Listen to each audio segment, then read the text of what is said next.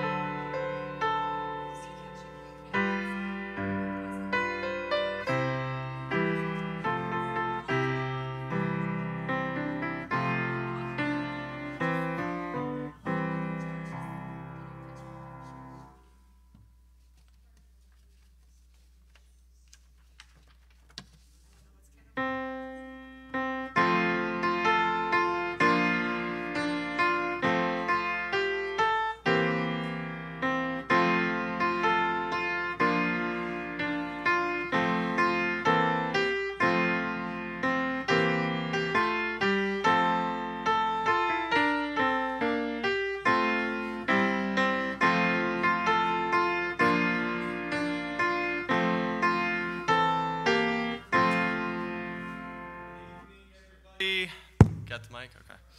Good evening.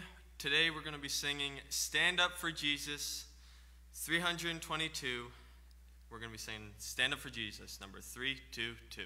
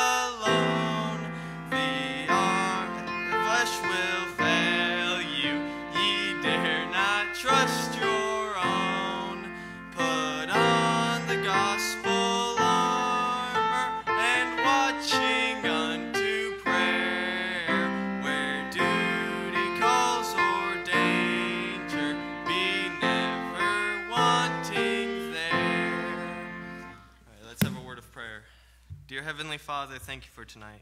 Thank you for these that came out, and thank you for this country. We celebrate Thanksgiving, and we thank you for it, Lord. Thank you for tonight. Please bless this time that we have out here.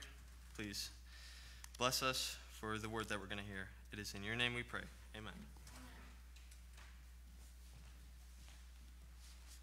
Good evening. Uh, Talon did a nice job leading tonight, didn't he? So you guys did a good job singing. So, uh, as he said, thank you for being here tonight. Uh, you're, if you're not aware, uh, Pastor and his family are in Georgia uh, for the next few days, enjoying Thanksgiving with their family, and uh, I believe they were hoping to get some time in with Shannon's grandma. Um, her health is getting uh, progressively worse, so they're uh, wanting to spend some time with her and you know just the family in general. And I know they usually each year they take turns. One one year they'll go at Christmas time, and then next year at Thanksgiving. So this must be the Thanksgiving year. So uh, we're going to try to do things as close to normal as we normally do them tonight. So. Uh, we're going to start off with uh, prayer requests. Uh, there's bulletins up here on the table. And uh, as somebody pointed out, please uh, ignore the date on the front page. It's not accurate, but uh, rest assured that the, uh, the rest of the uh, inside is up to date with the correct date on the inside. Um, does anybody need a prayer bulletin? Is there anybody that did not get one? Uh, Talon, would you mind grabbing one for Ken behind you there? Thank you. All right. Does anybody have any new requests or updates to ones that are already on here? Yes, Janet. On Monday, is this the one that's been keeping getting pushed off and? Okay, so that'll be this coming Monday. I'm pretty sure it is on here. Oh, did he? Okay. All right. Well, I'll write it back on here.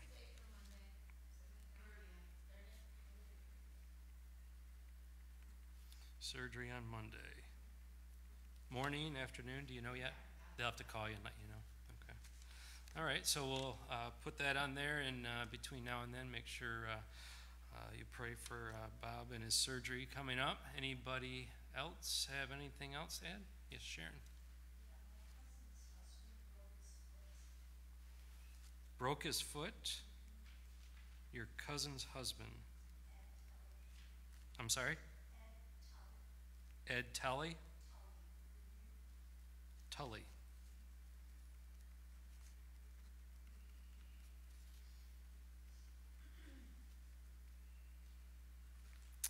Okay, so we'll add Ed to the list. Um, Lucy, did I see your hand go up?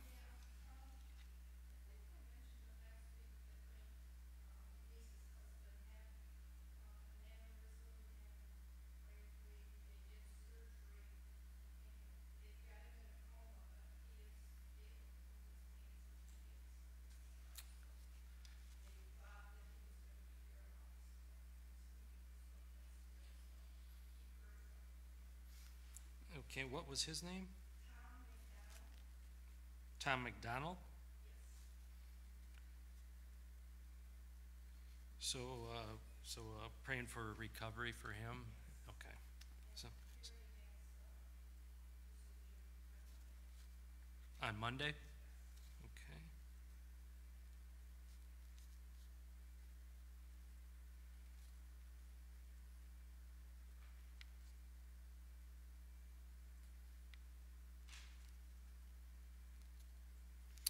Okay, anybody else tonight? Yes. Yeah, um, as many of you know, Joshua came home and surprised us for Thanksgiving. So, um, just praying that, of course, we all have a good Thanksgiving, but safe travels for him when he goes back home on Sunday.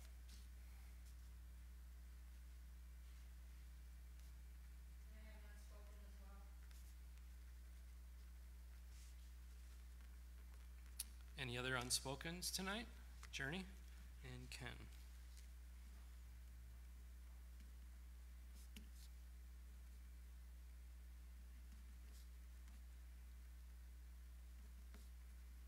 And any one unspoken for you? Any other unspokens?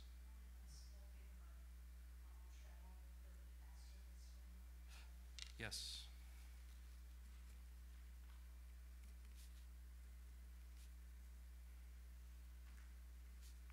I believe they're coming back on Friday, is that correct?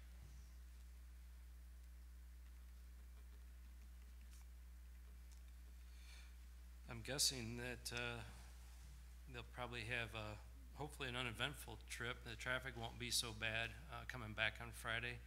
Uh, I was at my parents' this afternoon. My mom was saying that all the stores have tons and tons of turkeys left over. Um, just and they don't know what to do with them. They're giving them to you know shelters and you know uh, food banks and things like that because of the COVID. So many families are choosing not to get together this year for Thanksgiving. So you know they've got all these turkeys that uh, normally would be gone. so I'm guessing that traffic probably will be a little lighter than usual. I think they say that usually Thanksgiving's the busiest holiday for travel, typically Thanksgiving weekend. So. Uh, did I see your hand up, Nick? Oh, Terry, okay. I've been talking to Ursula, she's not a hundred percent anymore, so I don't know if I talked with her completely, but something about they may have saw lesions on her brain, and they think it might be cancer, and that they won't be treating it because of her age. Oh, really? Okay. That was Ursula, you said? Okay, so uh, are they going to do further tests then to determine exactly what it is, or are they just. Uh, I don't know, I mean, they won't tell me anything because I'm not family. Everything I know I get from her son, and, uh, he's working, he's a gunsmith in the hunting season, so he's working like seven days a week and ten hours a day, and, and his free time, he's, you know, preparing paperwork and all of that, so I haven't really gotten specifics on Okay, all right, well, we'll uh, definitely uh, pray for her that it's not cancerous, uh, especially if they're not sure they're willing to uh, treat it if it is because of her age. So we will uh, uh, add her to the list for that. Uh, Anybody else? Going once, going twice? Okay, let's uh, go ahead and pray. Lord, we thank you for thank you for this day today. Thank you for uh, all that you do for us, for your goodness, your mercy. Thank you for uh, giving our pastor and his family a, a safe trip down to Georgia. Uh, we thank you that they can take some time and get away, uh, just spend some time with family and kind of relax and uh, unwind for a little bit. We'd like to also ask that you please be with them when they return home. I believe on Friday. Uh, please watch over them, give them safe travels. Pray that traffic wouldn't be too bad. Uh, pray that you'd keep the car uh, going well for them, no breakdowns or anything like that. Uh, just watch over them and give them a safe trip. Uh, We'd also ask, Father, that you please be with Bob on Monday as he gives another attempt for this surgery. We pray that everything would uh, come together so that he can uh, finally get this uh, surgery underway and get things squared away. I Ask that you'd be with the doctors, guide them, direct them, help them to be fully rested and ready to uh, take on the task. Ask that you'd also give them a quick recovery. Uh, We'd also like to ask, Lord, that you would be with Sharon's cousin, Ed Tully, who broke his foot. Uh, Please be with him.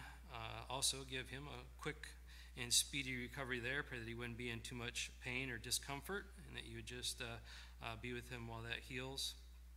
Ask that you'd be with Tom McDonald and his recovery.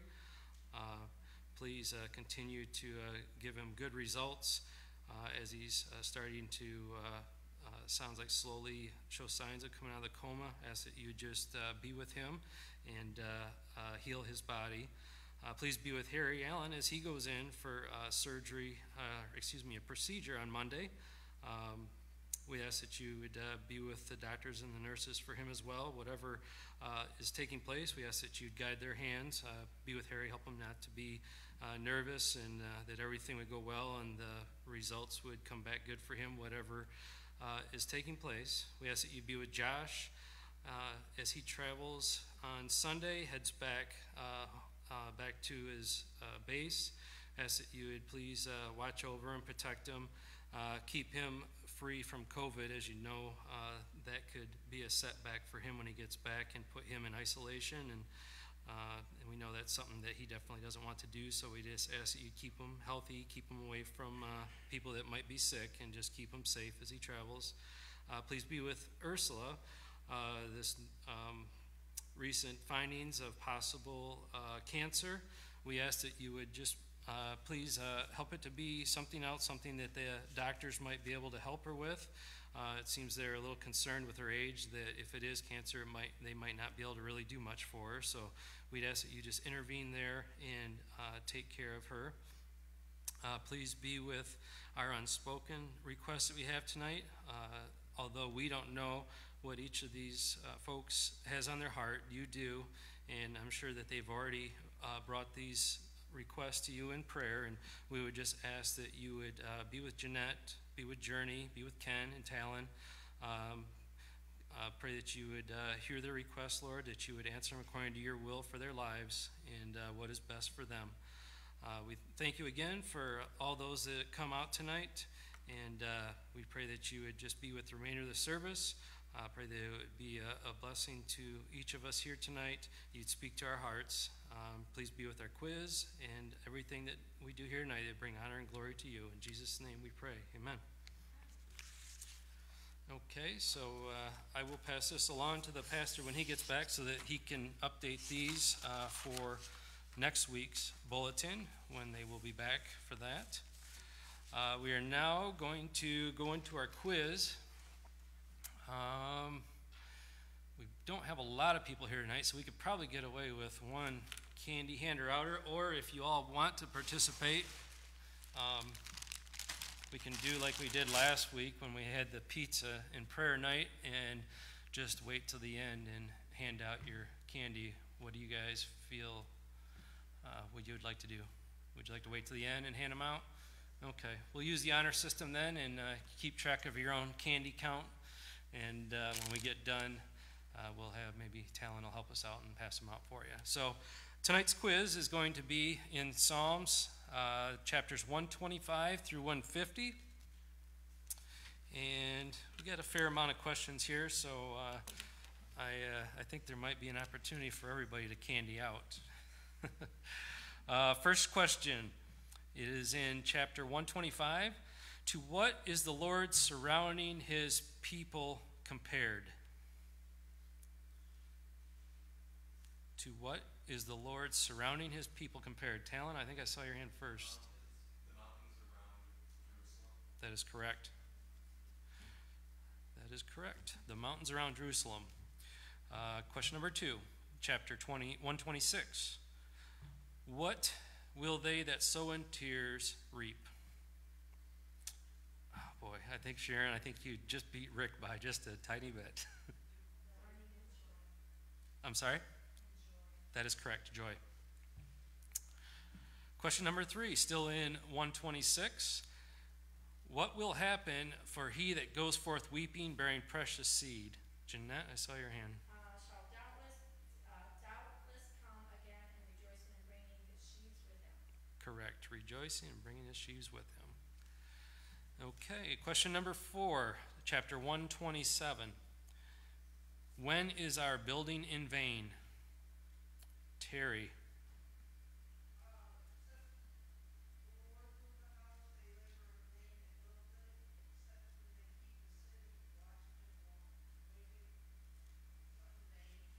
That is correct, except the Lord build it. Question number five, we're still in 127. What does God give his beloved? Terry. Sleep is correct. Question number six. What are a heritage of the Lord? Sharon. Chil- Children is correct. And one more here, question number seven in 127. To what are children compared? Talon. Jeanette.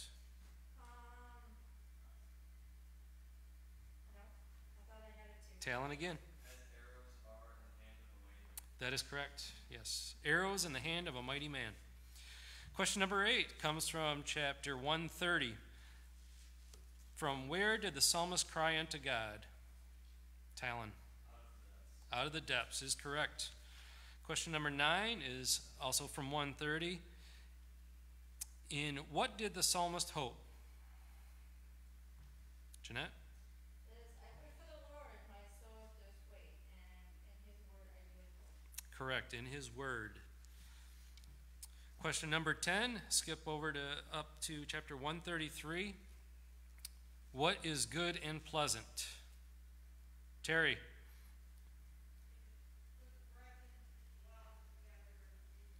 That is correct. Brethren, to dwell together in unity. Uh, chapter 135, question number 11. What endureth forever? Janet. Uh, it does, but that's not the answer for this one. Journey. That is correct. The name of the Lord. Question number 12, still in 135. From what are the idols of the heathen made? Journey? That is correct. Silver and gold. Question 136. What endures forever?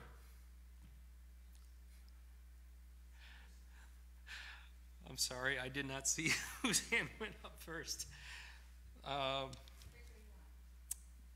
I'm going to pick Nick. That is correct, God's mercy.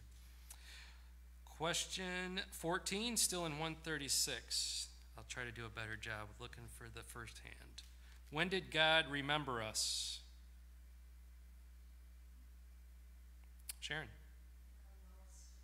That is correct, in our low estates. Question 15 in chapter 137. Where was it hard to sing the Lord's song? Jeanette? Uh, it says, we shall sing the Lord's song in a strange land. In a strange land. That is correct. It was hard to sing the Lord's song in a strange land. Question 16 is in 138. What has God magnified above his name? Sharon. His word is correct. He has magnified his word above his name. Question 17 is found in 139.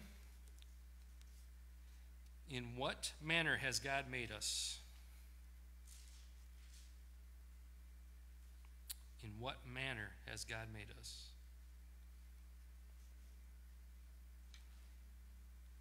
Janet.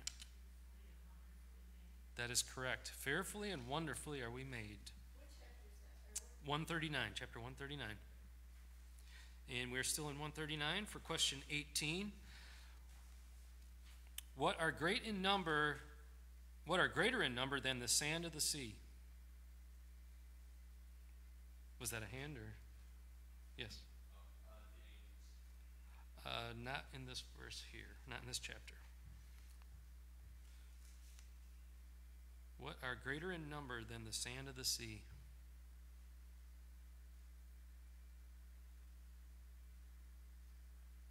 Nick?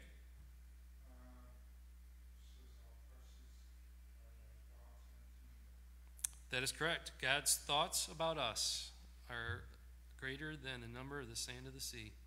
His thoughts about us. Why did the psalmist want God to search him and know his heart? Same chapter 139. Why did the psalmist want God to search him and know his heart? Journey? Correct, to find the wicked ways. Uh, next question, question 20 is in chapter 142. The psalmist could find no man to care for what? Nick? His soul is correct. The psalmist could find no man to care for his soul. Uh, 144, chapter 144. Like what are the days of man?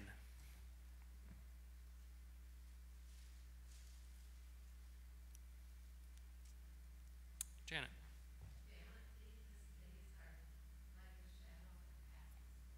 That is correct. A shadow. The days of man are like a shadow. Uh, next question, 22, comes from chapter 145. The Lord is full of what? Lucy. Compassion is correct. The Lord is full of compassion. We have four, five more questions. Chapter 147. What is it good to do? Ashton. That is correct. Sing praise to God. Nice job, Ashton. Uh, 147 again. To what has the Lord given names?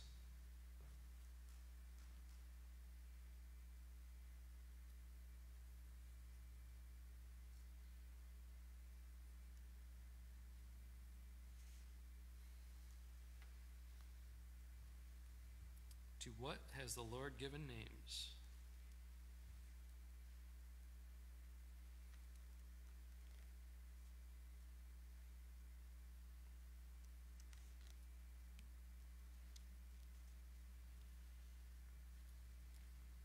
Journey? The stars is correct. The Lord has given name to the stars. Chapter 148. What is the key word of the psalm? Sharon? Praise. That is correct. Praise. Two more questions. Uh, chapter 149. In what does the Lord take pleasure? Yes, Lucy. In his people is correct. The Lord takes pleasure in his people. And final question is in chapter 150. Uh, this one may take a minute. How many times is the word praise used in chapter 150? No, sir. Nick? No, sir. Sharon? No. Jeanette? No. No, sir. Talon? 13 is correct. 13. 13 times the word praise was used in chapter 150.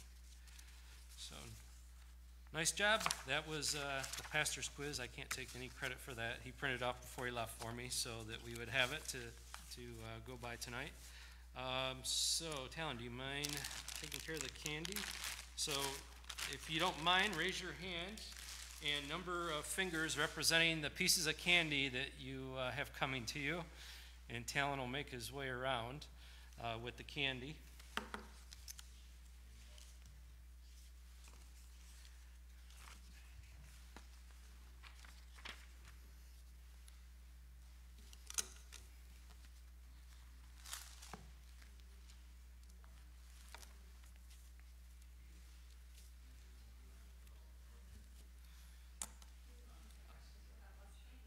What's that?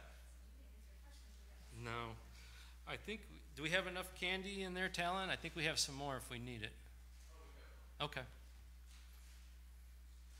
And don't forget Ashton all the way in the back.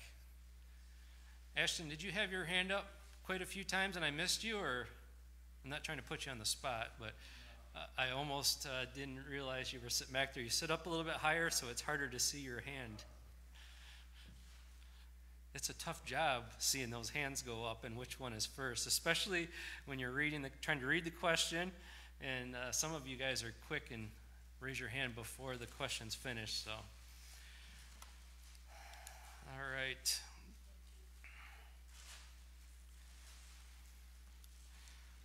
Did everybody get their candy? Thank you, Talon.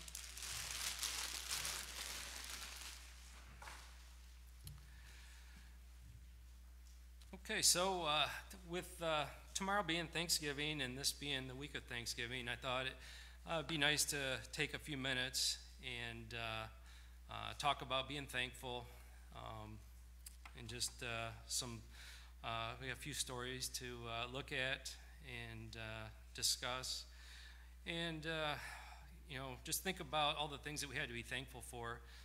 hopefully, you've already spent some time this week, as uh, the pastor uh, urged us to on Sunday, thinking about things we're thankful for, spending time with the Lord, and just thanking Him for how good He is to us and how well He takes care of us, His blessings. And, uh, you know, it, it's great uh, that we have the Thanksgiving holiday to uh, remind us. Uh, to take time out and be thankful for all those things that God has given us uh, we have the other holidays as well, like Christmas, uh, to remind us of Christ's birth, Easter, of the resurrection. And uh, it's good that we have these special times, and we look forward to them, and we uh, obviously we celebrate them uh, with a lot of enthusiasm, and it gets more of our attention around those times of the year. But um, what I would like us to think about is, you know, when it's a, a normal everyday week, like let's say the third week of January, when it's just the dead of winter, there's nothing going on, there's no real holidays coming up. You know, what, what's our spirit like? What is our attitude of gratitude? Are we thankful?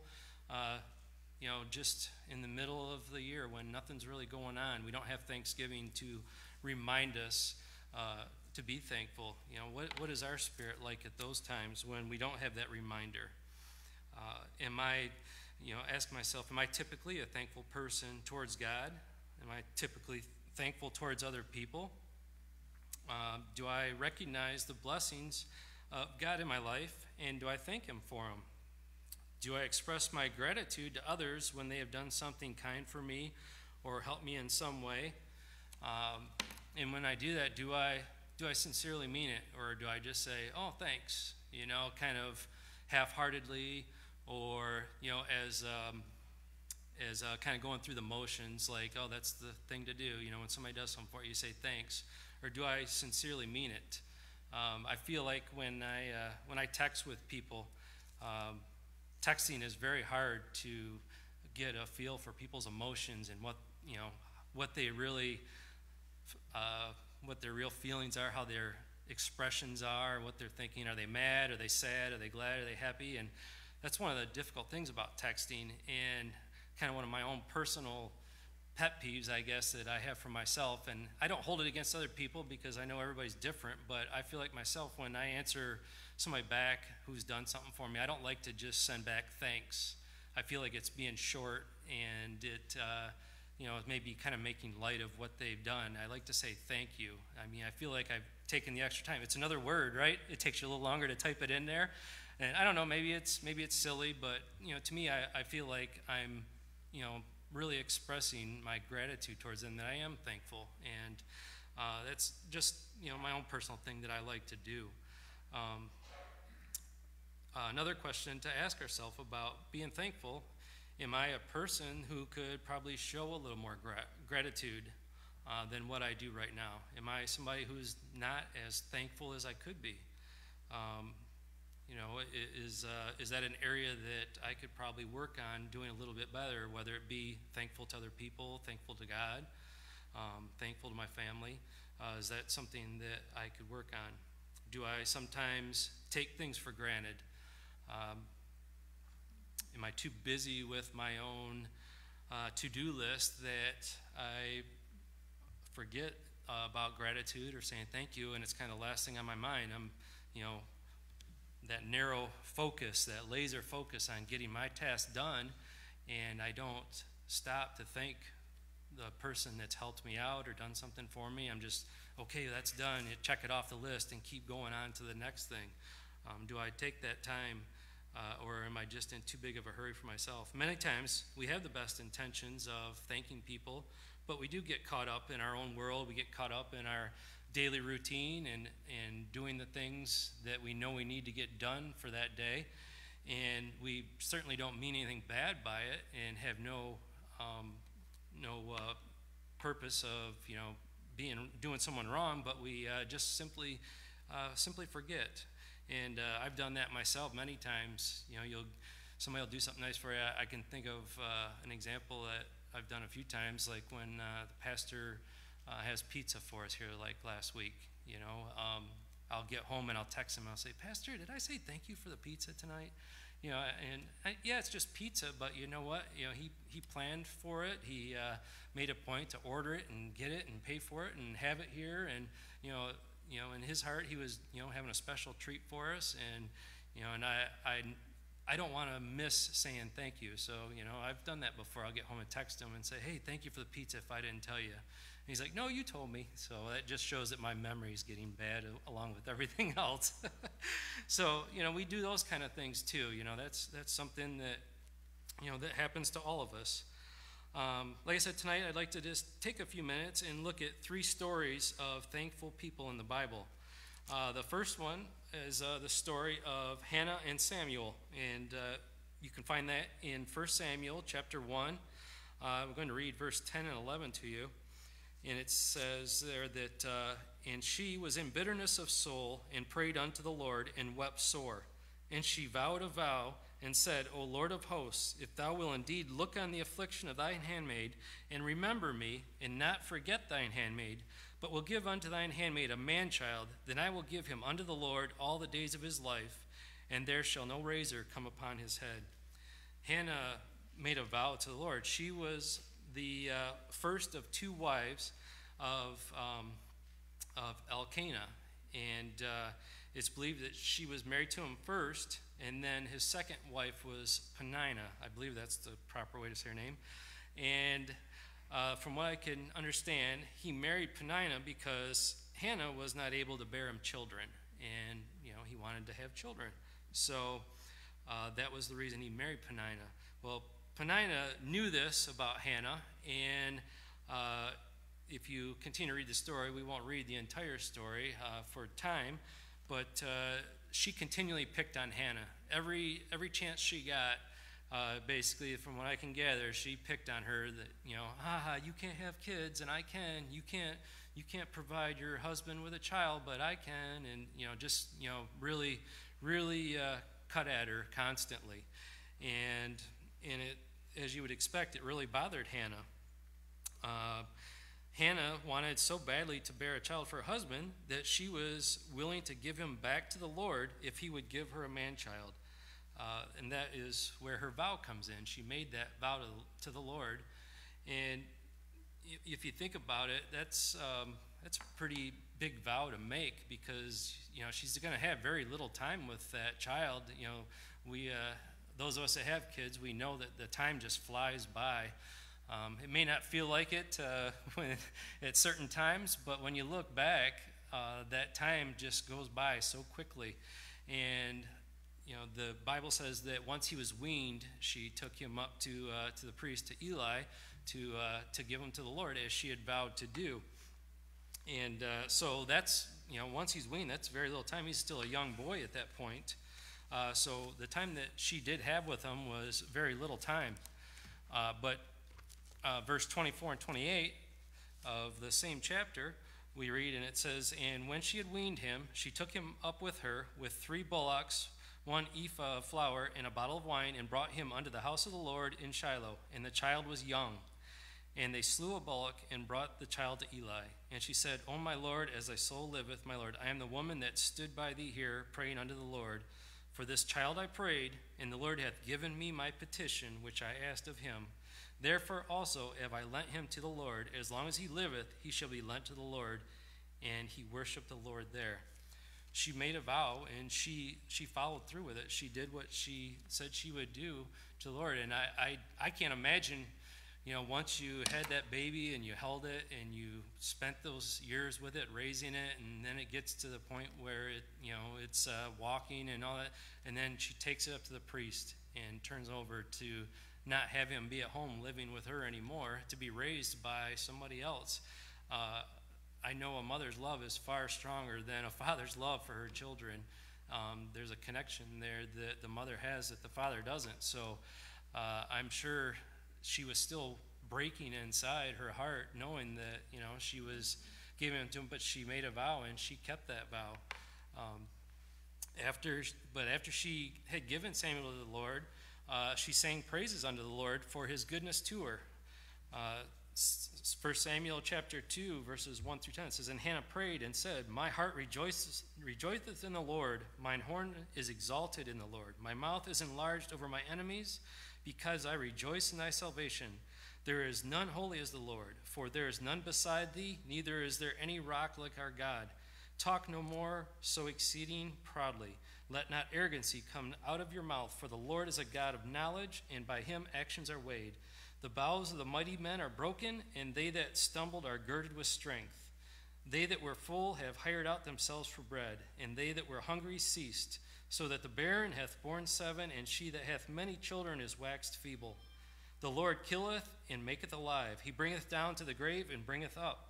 The Lord maketh poor and maketh rich. He bringeth low and lifteth up. He raiseth up the poor out of the dust and lifteth up the beggar from the dunghill to set them among princes and to make them inherit the throne of glory. For the pillars of the earth are the Lord's, and he has set the world upon them. He will keep the feet of his saints, and the wicked shall be silent in darkness, for by strength shall no man prevail. The adversaries of the Lord shall be broken to pieces. Out of heaven shall be thunder upon them. The Lord shall judge the ends of the earth, and he shall give strength unto his king and exalt the horn of his anointed. This was uh, a song and a prayer that uh, she sang unto the Lord. And uh, I think it shows that, she, yeah, she was maybe, her heart was broken, that she uh, had to take her son and give it to the priest like she had uh, committed, but she's also had a joyful heart. She was happy that the Lord heard her prayer, heard her plea, and blessed her with a child and gave her that time with it. And she's singing her praise and her thankfulness to God for what He did for her. Um, she uh, she could have chose to keep Samuel to herself and not followed through on her vow. Uh, she could have said, "Well, I've given birth to him, I've raised him, and I'm going to keep him now. I'm not giving him up." She could have done these things, but uh, we don't know how that would have turned out for her. I mean, maybe the Lord would have found His own way of taking Samuel from her. You know, maybe she wouldn't have liked the way He took him from her. So. Uh, but she didn't do that. She chose to honor her vow and, and do as she had promised.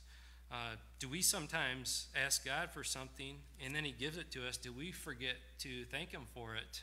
Or do we do like uh, we had uh, talked about here? Maybe we refuse to, uh, to follow through.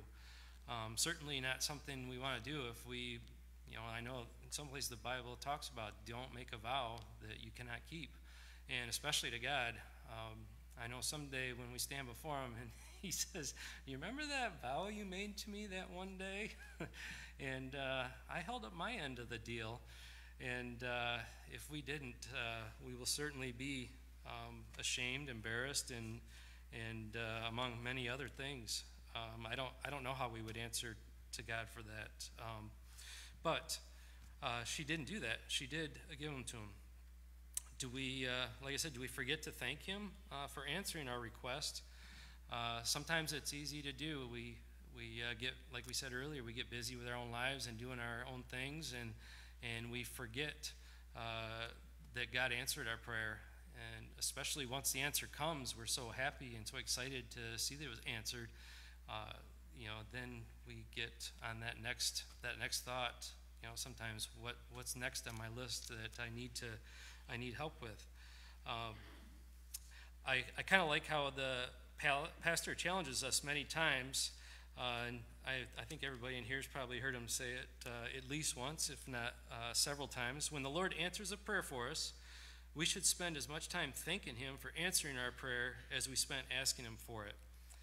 Um, I had a, just a thought that I had on it, and it's uh, interesting, but could we apply Jesus' teaching here? Uh, Matthew 5:41, and whatsoever shall compel, whosoever shall compel thee to go a mile, go with him twain. Could we possibly thank God twice as much as we had asked him for uh, our prayer, as we requested him? I mean, I, I know he certainly wouldn't tire of the, uh, the thank yous and the blessings and the praise. Um, but just, just a challenge, just a thought. Is that something that we could do? You know, he, he does challenge us. If somebody says go a mile, go two. And I feel like Pastor put that challenge out there. You know, uh, you know, we should thank him equally as many times as we asked him for something. And uh, I, I think that's more than fair uh, for us. Uh, Hannah was truly thankful to God, and her walk and her talk showed it. Our uh, second story is about uh, someone that lived a life with a thankful spirit, uh, and was simp- it was simply how he chose to live. Uh, the story of Daniel, Daniel praying to his God in chapter uh, 6. Uh, if you want to turn your Bibles there, Daniel chapter 6, and we'll just read just a, a few of the verses. We're not going to go through the whole story, but um, it talks about uh, it pleased Darius to set over the kingdom 120 princes, which should be over the whole kingdom, and over these three presidents, of whom Daniel was the first. So Daniel's the top guy. That the princes might give account unto them, and the king should have no damage. Then this Daniel was preferred above the princes, excuse me, the presidents and the princes, because an excellent spirit was in him, and the king thought to set him over the whole realm. Then the presidents and the princes sought to find occasion against Daniel concerning the kingdom, but they could find none occasion nor fault. For as much as he was faithful, neither was there any error or fault found in him. Then said these men, We shall not find any occasion against this Daniel, except we find it against him concerning the law of his God. Then these presidents and princes assembled together to the king and said thus unto him, King Darius, live forever. All the presidents of the kingdom, the governors and the princes, the counselors and the captains have consulted together, which I think might be a lie. I don't know that they asked Daniel. I'm suspecting they probably didn't include him.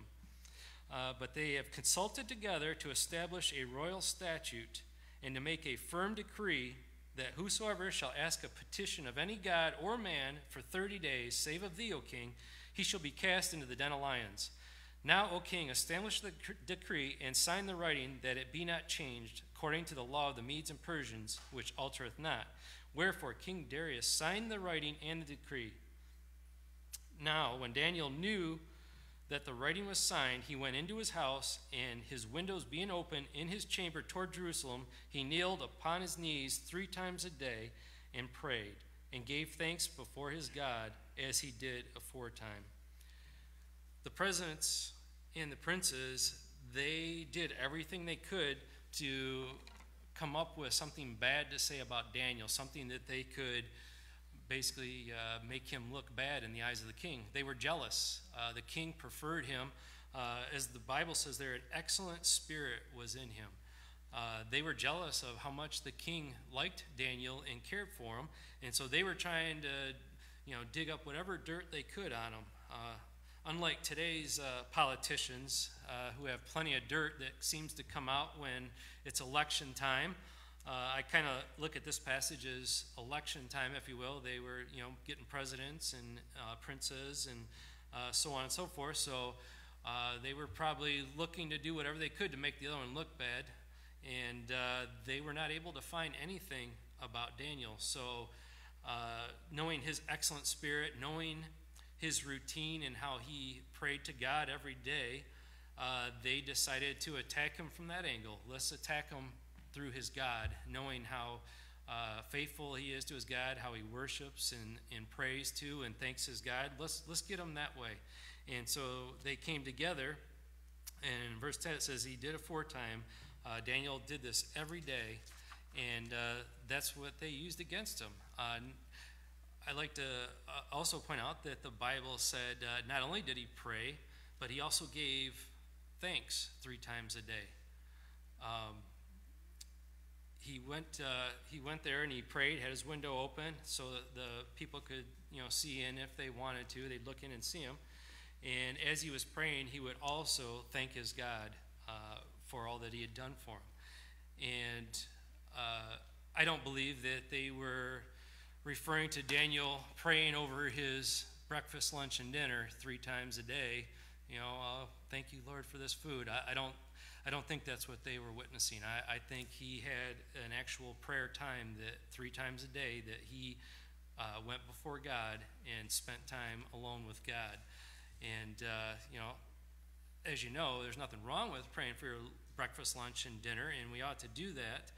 And, uh, and I'm, I'm very confident that Daniel did this. But, you know, how often do we give thanks to God?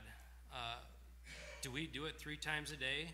Two times a day, just once a day, do we thank God? Oh, thank you, Lord, for this day. You know, you gave us a beautiful day today. How many times do we stop and thank God uh, for, again, for His mercy and for the wonderful blessings that He's given us in our life? Um, he certainly uh, deserves more than once a day, uh, more than three times a day. We, uh, uh, we should try to strive to thank Him continually, uh, the Bible says. Uh, we should be constantly thanking Him, uh, you know, for the things that He does in our lives. Uh, he watches over us. He provides for us. He takes care of us. He meets our needs. He, uh, he's given us His Word, uh, the instructions for how we should live, how we should uh, serve Him. And so there is really there's no reason why we can't be thanking Him throughout our day. I've been really trying hard to to do better at this myself lately, and uh, you know, it, it is difficult sometimes, but even the littlest things, I think God appreciates the thanks for. Uh, I, I had a job the other day that I was working on, and uh, I was having a tough time uh, getting the post to line up on the rail, and I was getting frustrated, so I just said, I'm just done tonight, and I cleaned up and went home.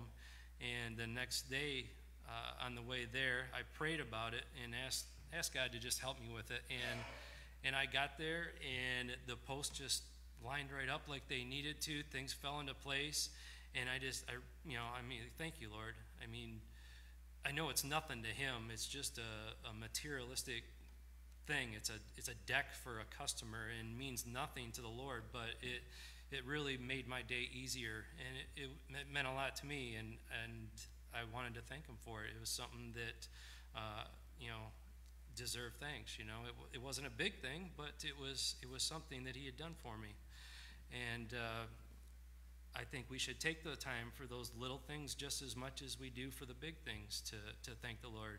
You know, you're in a hurry trying to get somewhere, you're running late for an appointment, and you got that light ahead, and you're like, I never make this light. I never make it.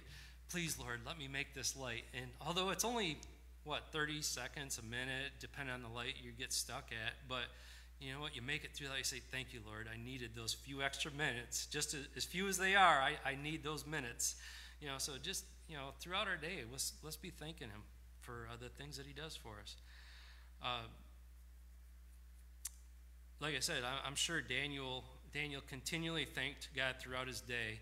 Uh, we have another example of this earlier in Daniel chapter 2 uh, verse 23, it says, uh, Daniel says, I, I thank thee and praise thee, O thou God of my fathers, who has given me wisdom and might, and has made known unto me now what we desired of thee. For thou hast made known unto us the king's matter.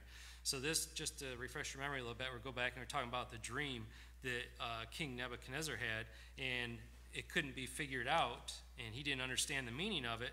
And so, Daniel uh, has prayed to God and asked him to reveal the uh, dream to him. So this is Daniel thanking uh, the Lord for showing him the king's dream. And then in verse 27 and 28, uh, Daniel, uh, before uh, revealing to the king what the dream meant, he takes a minute and gives glory to God. And basically, he thanks God again for, for answering his prayer for showing him the king's matter. And Daniel answered in the presence of the king and said, The secret which the king hath demanded cannot the wise men, the astrologers, the magicians, the soothsayers show unto the king. But there is a God in heaven that revealeth secrets and maketh known to the king Nebuchadnezzar what shall be in the latter days.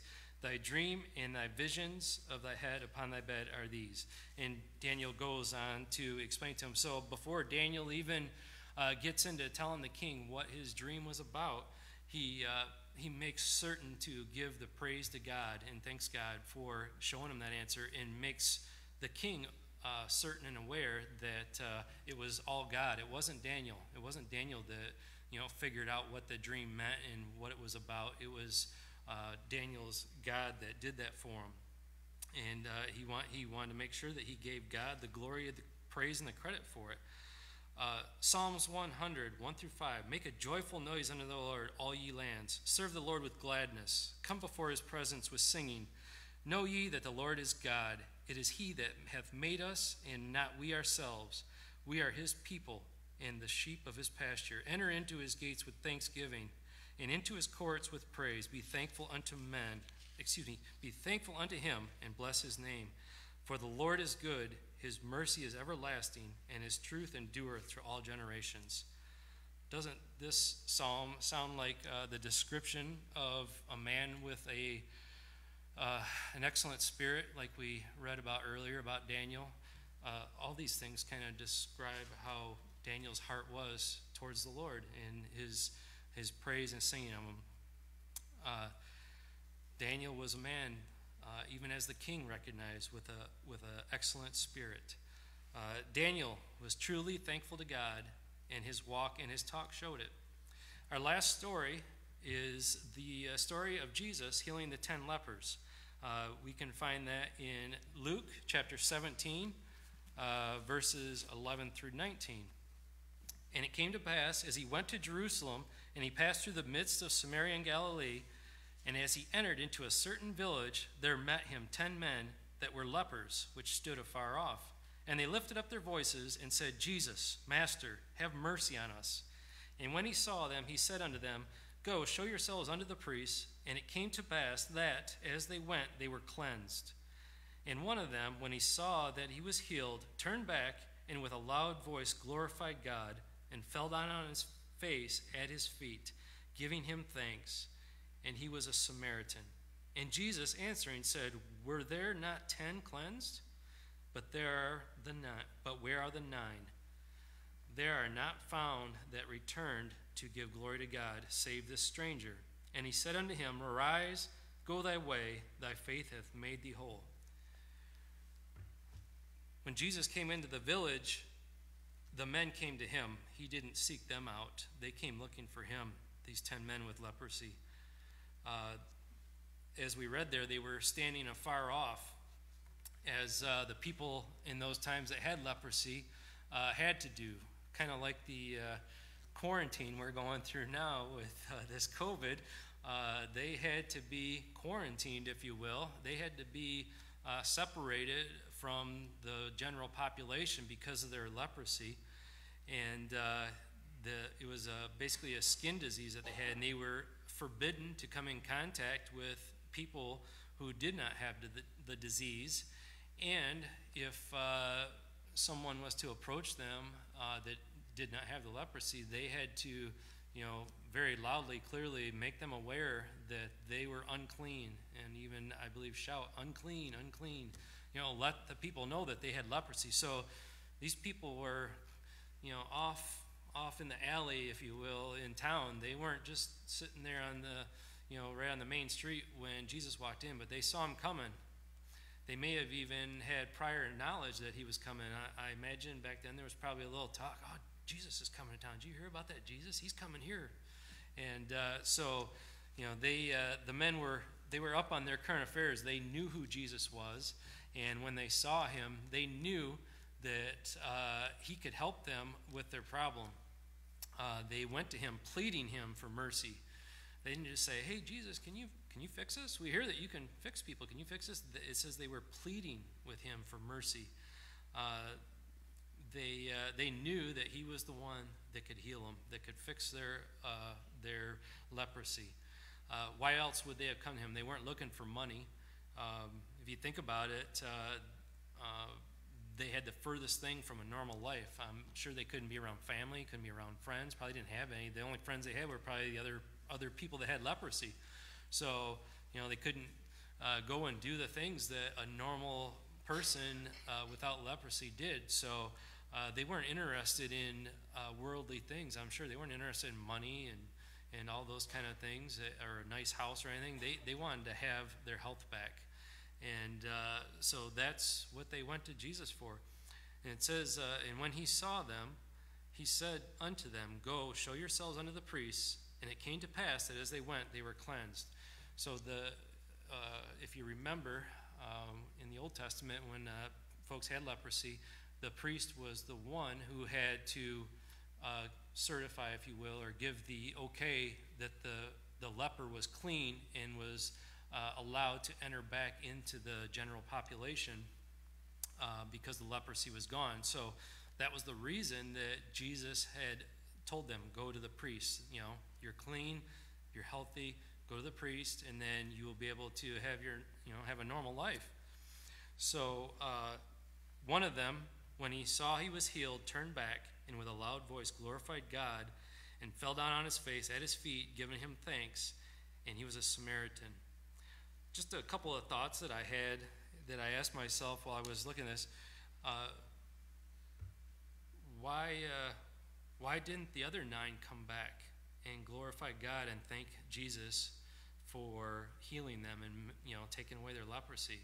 You know, ten people and only one comes back. That those are terrible percentages. Ten percent, one person. So why didn't the other people? Is there, you know, why? What was it that kept them from going back? Uh, just a couple, like I said, a couple thoughts that I had about it, and they're just thoughts of my own. I, I don't know, you know, if they're true or not. I, I have no idea. We have no way of knowing. But were they just so surprised by Jesus healing them that they completely forgot their manners? In, just in total shock and disbelief that they're all of a sudden completely healed and clean. You know, go from an outcast to uh, on the verge of being a normal person, having a normal life, and no more leprosy. You know, were they just in such uh, shock and surprise that they just didn't know what to do, which way was up? You know, is is that what happened to them? They just didn't really realize. You know, you ever been in one of those situations where something happened and you just couldn't believe that it was actually happening? I think Jeanette had a, a day like that on Monday when she walked into the office, and there's Josh. I don't think she, I don't think she knew what was happening. She didn't even know who it was at first. Like, is that Josh? And you know, maybe these guys were the same way. Like, what just happened? How, how am I clean? How did this happen? Uh, were they just in such a hurry uh, to go and show themselves to the priest, get that clean bill of health, uh, so as they were instructed by Jesus, so that they could, um, you know, totally get on with the rest of their lives? You know, did they just you know, oh, I got to get to the priest. Jesus told me to go to the priest. I got to go to the priest. And then they just take off, you know, heading right for that priest and just totally forget, oh, man, I didn't even thank him. Didn't even think about it. Um, I got to go see the priest. And then I got to go find my parents and tell my parents and say, look, look, I'm, I'm better, you know, and, and other family members and, and things like that. And, you know, I'm, I'm sure they had a list a mile long and running through their head of all the things that they can do now that they weren't able to do before. And, uh, you know, the Bible doesn't tell us what happened. It doesn't tell us why they didn't give thanks uh, like the one man did. But um, I'm sure there was a reason for it. Uh, regardless of what the reason was, um, there's really no excuse for the ingratitude. And, and we can apply that to ourselves too. There's, there's no excuse for not taking the time uh, to show our gratitude, to thank to thank God, to thank others for things that they do for us. Um, we read over and over again throughout the Bible how God is good, His mercy endureth forever. We're instructed many times throughout the Bible to give thanks. Um, and, uh, you know, these, these guys missed it. One guy out of ten got it. Uh, in all three of our stories, God continued to bless each of these individuals for giving Him the glory and the praise for their thankful hearts towards him for their, their spirit that they had. Each, each person had a, a good spirit. There, there was no bitterness like, like Hannah, oh man, I, I, that's right. I told God I, I vowed I'd give him this baby, so now I got to give this baby to him. And you know, there was no bitterness or anything. They all had the the uh, the good spirit and the good heart uh, towards God, and they were thankful for him. Each one uh, had a continued blessing and God's mercy on them. Uh, Hannah, uh, back in Samuel 2:21, it says, "And the Lord visited Hannah, so that she conceived and bare three sons and two daughters, and the child Samuel grew before the Lord." The Lord continued to bless Hannah. If you remember when we first read the beginning there, she was barren. She couldn't. Uh, that was the reason that her husband ended up with a second wife, is because she was not able to give him children. And the Lord uh, worked a miracle and gave her her son Samuel. And I believe because she honored her vow and she had the right heart, the right spirit, God continued to, to touch her life, continued to bless her. And honestly, He blessed her abundantly above what she probably could have ever hoped or dreamed. She probably never had a thought in her head of, you know, God giving her more, more children. And He gave her five more, five more children. And I, I, honestly believe it was because of her, her thankfulness and her thankful heart and the spirit that she had. Uh, Daniel, we didn't finish the story of Daniel's failure to obey the royal decree, but uh, everyone in here is very familiar with that story as well. As you know, he was thrown in the lion's den.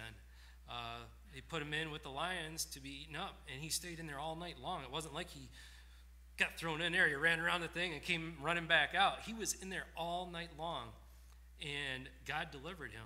I, I don't know about you, I think that's a huge blessing. And uh, I'm sure that Daniel thanked him for a long time for that one because uh, obviously he spared his life. Uh, I, I would not want to be in a cage with lions for even one minute. and he spent the whole night. You know, again, his spirit and his thankfulness, God blessed him for it. This uh, man with the leprosy uh, came back and Jesus saved him.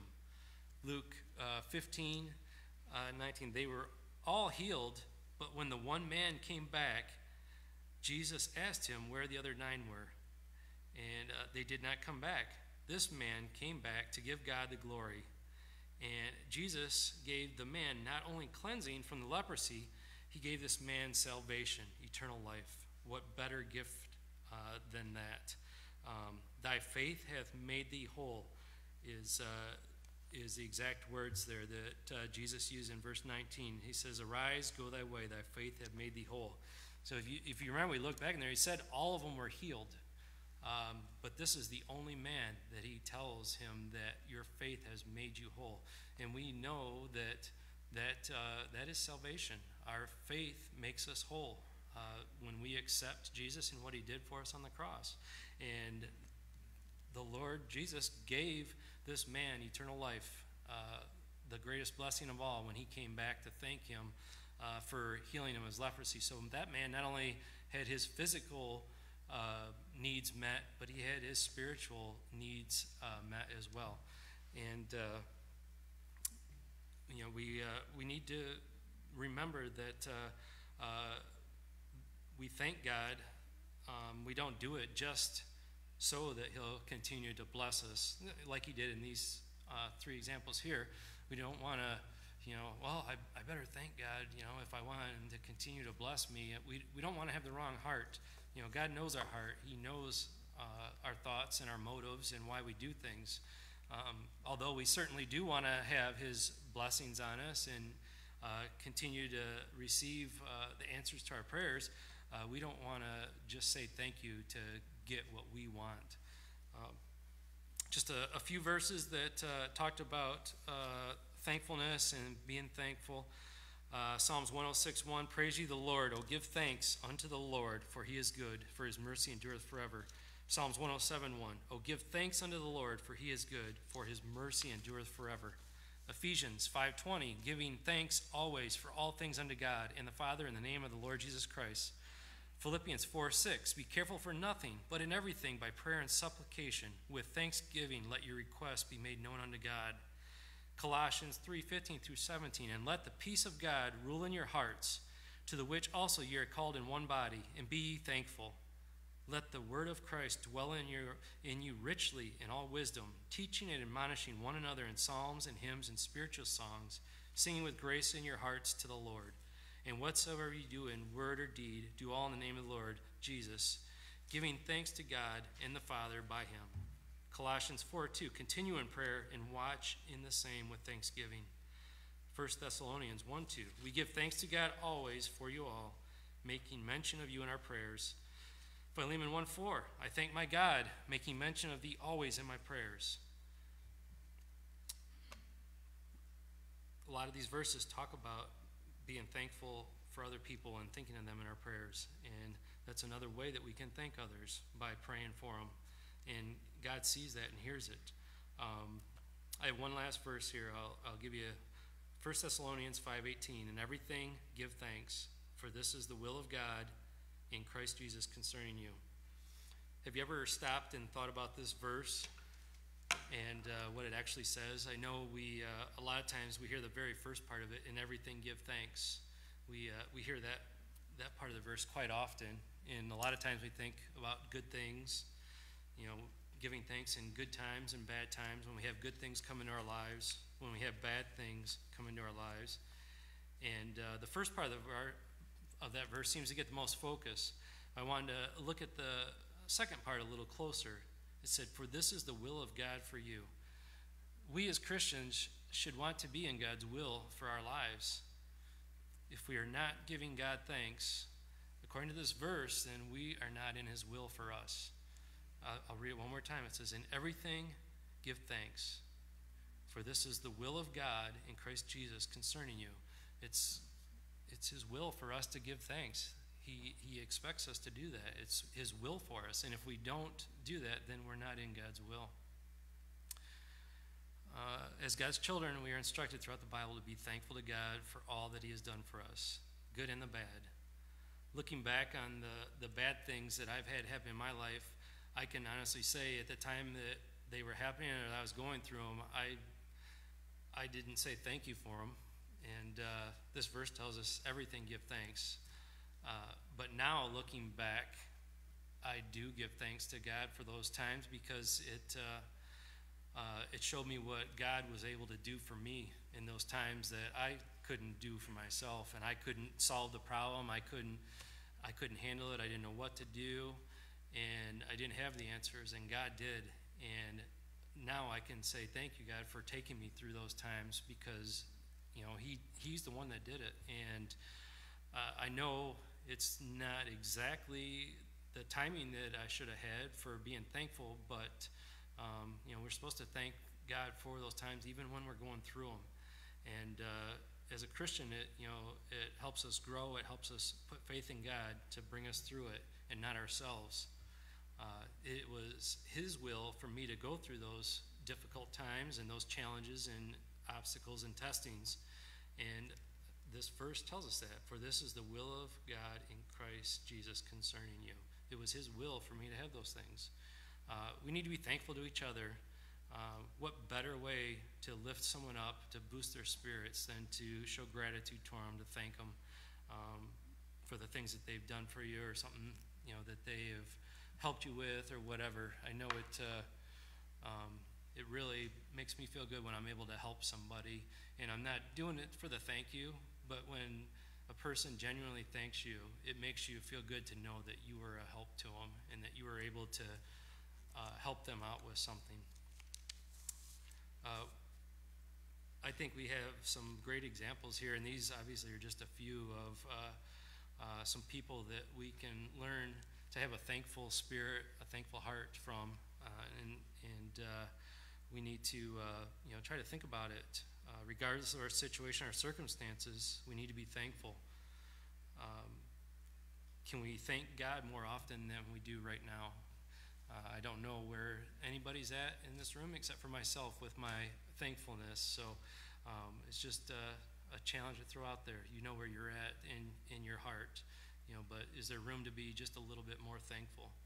And is it something we can do each day, not just Thanksgiving week, Thanksgiving day? Something that we can add to our lives to, to better serve God, to better uh, be in His will, and to draw us closer to Him.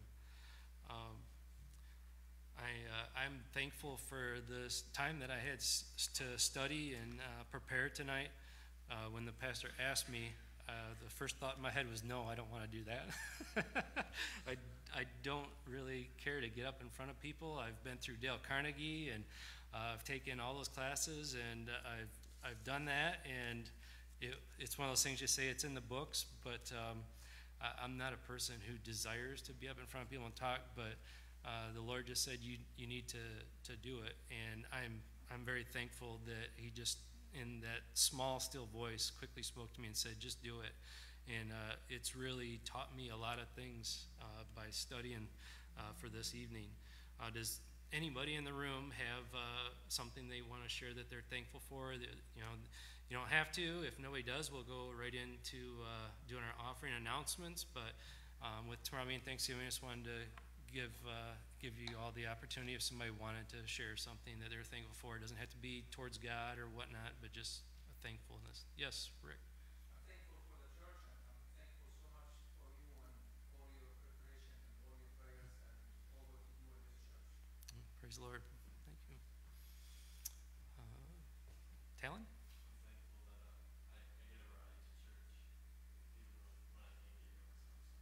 That. That's great. I'm sure you're you're ready and anxious to provide your own transportation, right? and it'll come. Just won't come soon enough, right? Uh, anybody else? Jeanette? Well, of course, I'm a little biased, but I'm very grateful for this man and all he does for the church and for me and my, our family and, and just others. Um, and you guys have no clue how much he does, and I'm so grateful that God gave him to me. Thank you. Uh, any Sharon?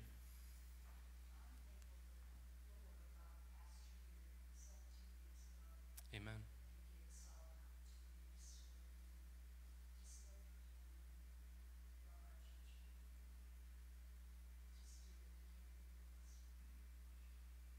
Amen. We do have a, a, a great family here, and it is family. Everybody helps each other, and if there's anybody here that doesn't like somebody, I don't know. I'm not aware of it, and I, I don't think there is. But if there is, I don't know it. Everybody is, gets along so well. Everybody helps each other and takes care of each other. Um, and uh, there's so many of you that do so much that many people don't even know about. And uh, it's what keeps this church going. And like I said, thankful for the pastor and his family. They came here and started this with nothing. And uh, they've poured their lives into it. And uh, very thankful for that. It is uh, definitely God's work uh, for it to, to continue to grow and, and sustain here in Flint when other things are dying off. Anybody else? Terry? I'm just thankful that I'm happy. Genuinely don't have any complaints. I've got good health, I'm able bodied, I have, everything's good. Amen.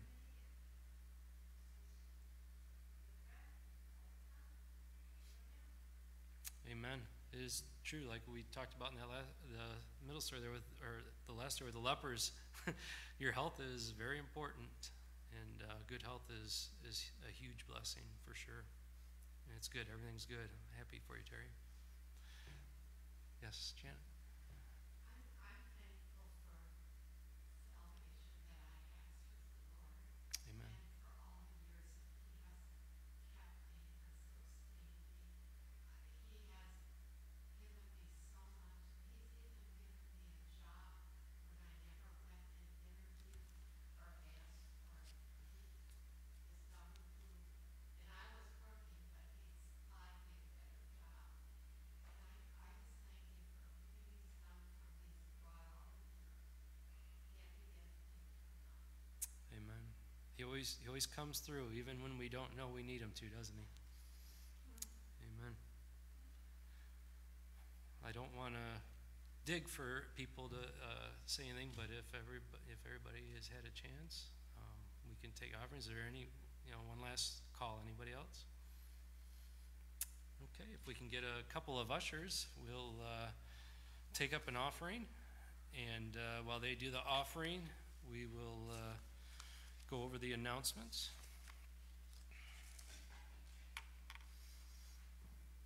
Brother Rick, would you mind praying for the offering? Thank you. Heavenly Father, thank you again for your Son. Thank you for your love. Thank you for uh, another opportunity you're giving us to gather together tonight and uh, listen to your word. Thank you so much for Brother Brent and his love for you and for us and for his preparation. Thank you for uh, giving us health and jobs to meet our needs. We ask you to bless this offering and use it for your glory and honor. In Jesus' name we pray. Amen. Amen. Okay, uh, just a few announcements uh, for you. Uh, December 4th and 5th, the Ladies' Conference. For those of you who signed up for that, I don't know if it's too late to sign up or not. Does anybody know? Is there still time? Yeah. Was today the last day? Okay. We're turning it in Sunday. Okay, they're going to turn in. So the board is still over there. I saw it on the table. So if you haven't had a chance to sign up, uh, tonight would be the last night for you. Uh, that's for December 4th and 5th, and I know it's a really great time. Uh, my wife goes pretty much every year, and I know the ladies have a, a really nice time. So uh, if you can make that at all, I highly recommend it. Uh, December 12th is the Christmas party, and it will be downstairs, from what I understand. And uh, there's a couple of different uh, things in the planning for that, but uh, plan on attending that. And if it's something you're not comfortable with, with the COVID and the current uh, situation, the way things are, certainly, you know, don't uh, do something you're not comfortable with. But uh, obviously, as always, we'll uh, take all precautions that we can to be as safe and careful as we can with everything. So uh, that's on December 12th, and I'm sure they'll have a time for you here real soon on that. December 20th is the Happy Birthday Jesus offering. They uh, like to take a, a offering for Jesus for his birthday the Sunday before Christmas. So that'll be December 20th. Uh, let's see here. Last week we did hit budget. Uh, we surpassed budget with a budget of 3,500. We had $4,114.64 come in. So uh, uh, praise the Lord, we exceeded our budget last week. Uh, remember, there is no uh, visitation tomorrow because of Thanksgiving, so we will not have it tomorrow. If you come up here tomorrow for that, you'll be going out alone. And then uh, this week's Bible reading, beginners are reading Psalm 111 through 135, and then the advanced readers are reading the book of Luke and the book of John.